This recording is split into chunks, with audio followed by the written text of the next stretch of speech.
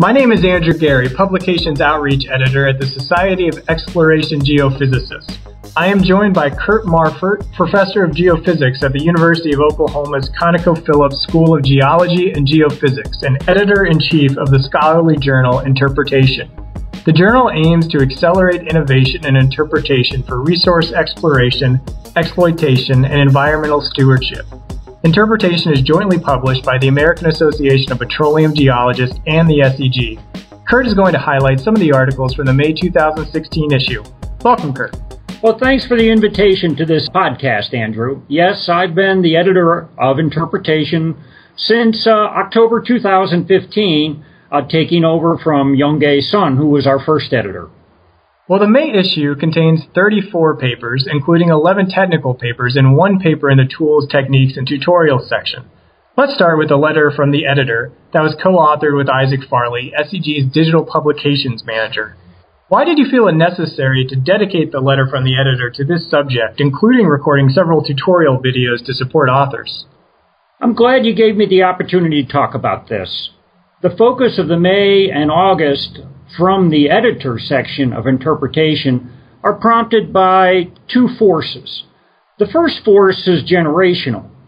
Most of our student, young professional, and mid-career geoscientists they uh, access information digitally, preferring online versions of newspapers, uh, online versions of professional journals, such as interpretation. Even older uh, geoscientists like myself, I prefer to read a newspaper in print in the morning. And I like to page through a journal interpretation and geophysics as it comes out in hard copy. But when I want to go back search for something, use things in a lecture or a class, I too will access the digital journal.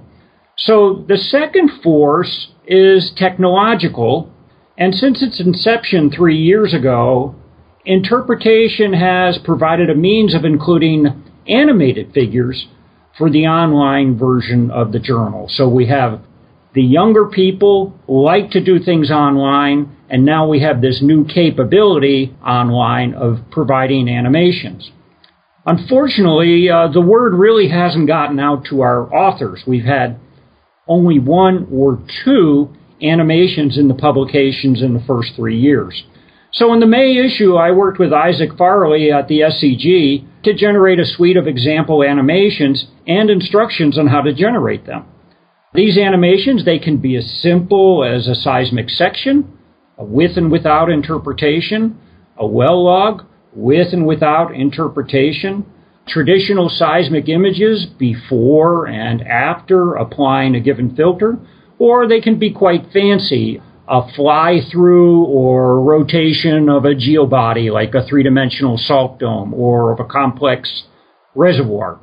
Now, such animations we use them all the time when we give presentations at the SEG international meeting. So we make use of animations routinely.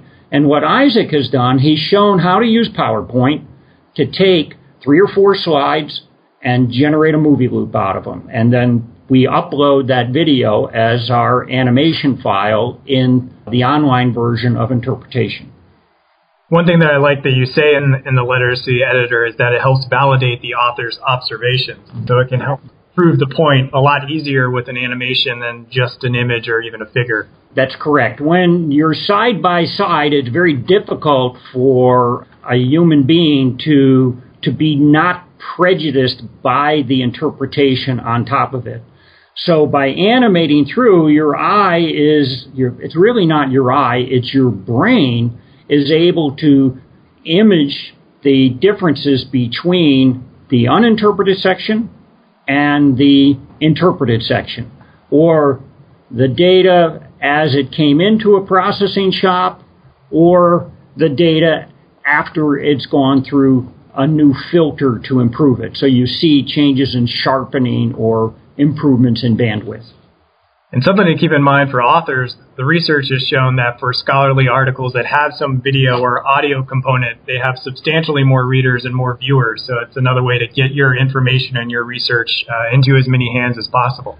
I agree with that. When I work, I, of course, being a professor, I work with students, and they're forever grabbing little video clips from the web to show a complex mathematical concept or wave propagation uh, phenomena. So moving ahead, in the special section, Unconventional Exploration and Production Achievements and Remaining Challenges, there is an article by Christian Schlanser, Dario Grana, and Erin Campbell Stone discussing how to use expectation maximization, EM, to distinguish between reservoir and non-reservoir quality shale facies. What excites you about this contribution regarding unconventional resources? Well, expectation maximization, or EM for short, is one of several emerging technologies that fall into the general area of what many people now call data analytics. While many of our listeners may not be familiar with this word, they're familiar with the process. So anyone who's bought a book on Amazon.com or uh, on Google has been confronted with uh, pop-up menus. And the pop-up menu say other people who have bought this book have also bought these other books. And it's not limited to books. It can be it can be uh, electronics, music. Last week I bought some automotive parts. It showed me all the parts that connect to that automotive part. So they're doing statistics. So companies like Google and Amazon have tens, if not hundreds of millions of purchases from which they can generate probability density functions. So what Schlanser and Grana and Campbell Stone have done, they are taking well logs and in a resource play, we won't have one well or two wells. We might have hundreds of wells. We can start to generate statistics. The statistics are multidimensional. Why are they multidimensional? Because we have different kinds of logs. We'll have logs that are sensitive to density, to p velocity, to self potential, to gamma ray behavior, etc. In unconventional reservoirs, one of the things of greater interest is the rock brittle or not. Now, can we use those few logs that measure brittleness directly or indirectly, find relationships with the simpler logs triple combo logs, for example, which are used in almost all wells, and then, given those triple combo logs, find out areas that, from a probabilistic point of view, are going to be more brittle or more ductile. Now, this fits neatly, this probabilistic Gaussian statistics technique doesn't tell you this is brittle and this is not ductile it gives you a probability that it reaches a certain level. And this kind of statistical approach actually fits into one that is used by almost all the major oil companies for 20 years uh, called risk analysis.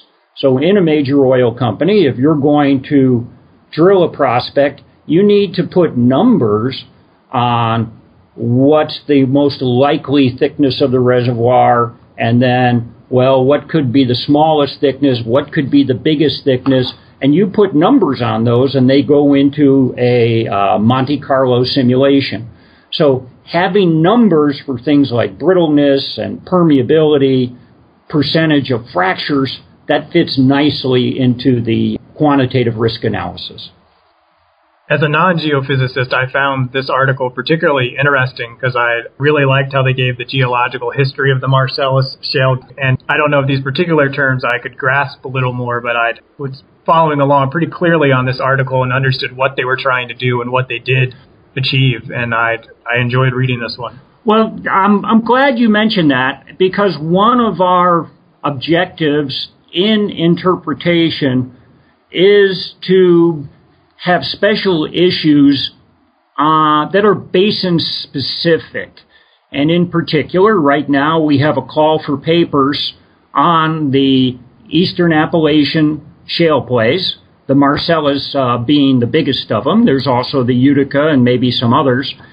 The readership wants to know not one view on the Marcellus, they would like to see maybe eight or ten different views? And is there consensus by the industry as to whether a given workflow is useful in their basin, not somebody else's basin? So moving on, uh, Xinming Wu and Dave Hale continue to build off their past research in their new article titled Automatically Interpreting All Faults, Unconformities, and Horizons from 3D Seismic Images. What does this latest advancement by Wu and Hale propose? Well, computer aided seismic interpretation has been a major goal of uh, seismic interpreters since the early 1980s when companies like Landmark, Scitex, and the forerunner of uh, GeoFrame came up with their first interpretation workstations. Today, given good quality seismic data, almost all commercial software uh, provides a means to auto pick seismic reflectors. They also provide seismic attributes that highlight seismic discontinuities, such as faults. Now, Wu and Hale do this quite nicely in terms of auto picking not just the reflectors but also the faults, but they address a much more difficult problem. Can a computer estimate the throw about a fault uh, with minimum human intervention? Where do you see the next advancement coming in this research? Well, quantifying such throw is uh, it's critical to planning lateral wells. You want to stay in your zone of interest.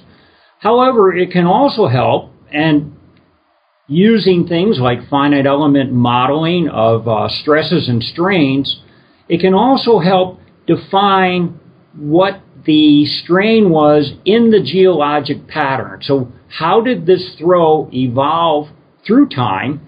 And then by knowing the shape of the fault and its deformation history, can we estimate which areas are going to be more likely to have natural fractures in them and therefore have higher permeability? Their results that they show are excellent. They're using a good quality data set.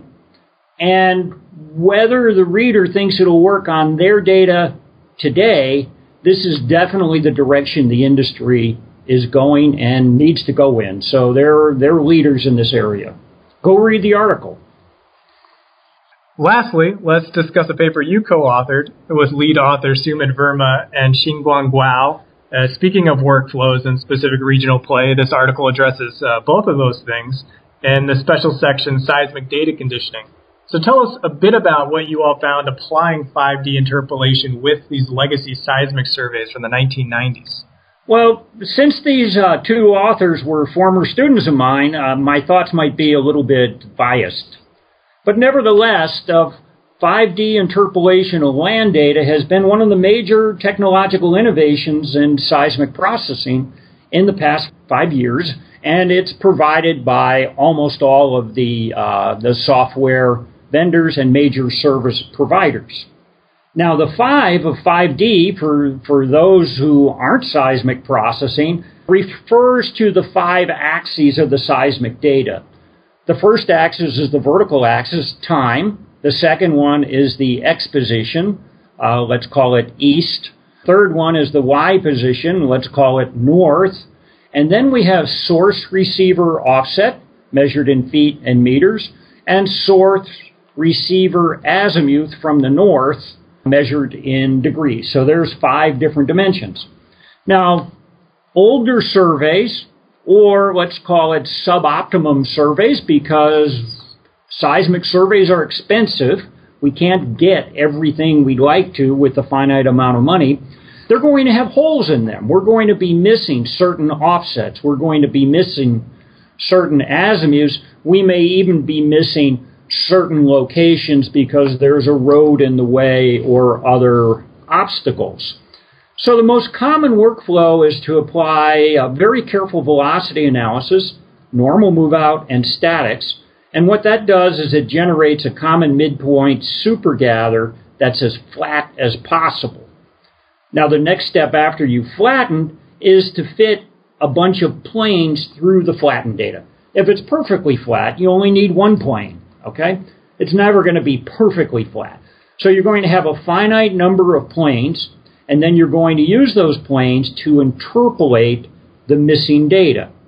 Now, um, my buddy, uh, colleague Satinder Chopra up in Canada, he and I have put together uh, or written a paper in the leading edge showing the impact of 5D interpolation on mapping faults and fractures. Now, what it does is it greatly reduces the acquisition footprint, but it somehow suppresses the sharpness of the edges. Now, when you think about that, that's because those edges are associated with diffractors. Now, the paper by uh, Verma and Guo, they hypothesize that this smearing is caused by the misinterpolation of these non-planar diffractions. So only part of the diffractions are estimated or properly estimated by the normal move-out correction. The rest of them are unmoved out, so they can't be represented by these planar events. Instead, what Verma and Guo do, they uh, use a more computationally expensive approach and use demigration operators to interpolate the data. They then apply it to this old data, 15 fold, so very low fold, from North Texas. They find very nice results. They suppress acquisition footprint and they maintain uh, very sharp uh, fault edges. Now, I want to mention this workflow uh, fits neatly into a technique called least squares migration. And as the uh, current editor of interpretation, I want to uh, enlist authors for an upcoming special section on exactly that topic. Well, the call is out now. One thing I also liked about that article was that you it was very clear from the author's wording when this would be useful, or as you mentioned, when it might possibly be too computationally expensive to, to use this workflow. Right. For those not familiar with seismic processing, the bottom line is if you have the money, collect the data as densely as possible. Denser data gives you better results. So all these articles in all of the May 2016 issue can be read in print, as Kurt prefers, or in the SEG digital library at library.seg.org. Subscribers can read the full articles in the digital library, and for those currently not subscribed, abstracts for each of the interpretation papers are always free. To learn more about becoming a member or subscribing to interpretation, visit aapg.org or seg.org. Kurt, I thank you for sharing some of the highlights and look forward to speaking with you on the forthcoming August issue. I appreciate this opportunity, Andrew, so thank you very much. And in the August issue, uh, Isaac Farley and I are going to push another concept for, again, younger or technology adept readers, and that's to put the abstracts in an audio form. So, like this podcast that we're doing right now, it's time to embrace the newest technology and apply it to the 4 billion year old Earth. We look forward to hearing more about that and reading that upcoming article. Okay, thanks again. seg.org slash podcast, you will find the show notes and past episodes of Seismic Sound Off. Subscribe to the show on iTunes or wherever you listen to podcasts. If you enjoy the show, please review us on iTunes. It makes a big difference. Thank you to Kurt Marfurt for joining me. Email us at podcast at seg.org or call us at country code 1 918 497 4627 with your comments and ideas for future shows. We would love to hear from you. Our next show will be with Jim Gaiser, the 2016 Disc Lecturer. Season 1 of Seismic Sound Off is sponsored by the SEG Wiki, home to hundreds of biographies of key geoscientists, geophysical tutorials, and core content from the science of applied geophysics. Learn more at wiki.seg.org. This show was produced by Isaac Farley and Andrew Geary. Original music by Zach Bridges. Thank you for listening. This is Seismic Sound Off, signaling off. Hello everyone, my name is Stacy, manuscript submission specialist with SEG. The Society of Exploration Geophysicists, founded in 1930, is a not for profit organization committed to providing high quality educational, networking, and professional development resources to 24,000 members in 126 countries. To learn how you can become a member of SEG, please visit seg.org. I look forward to helping you further your career as a member of SEG. Thank you for listening, and please come back often.